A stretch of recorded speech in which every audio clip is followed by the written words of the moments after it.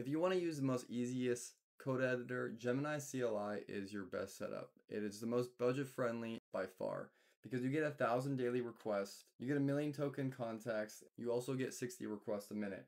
And it's pretty relatively easily to set up. And you want to first install Node.js plus 18 or 18 plus. And Node.js is right here. You just want to download this for Windows.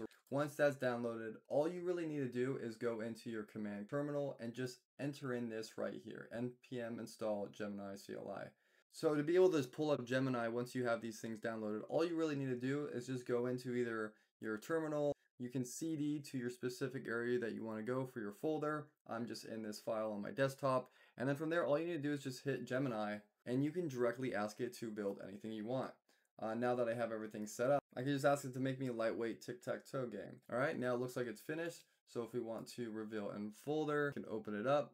All right, just once, and boom, we have a tic-tac-toe game in relatively no time at all. And you can almost make almost anything with this. And if you like this video, leave me a like and have a good one.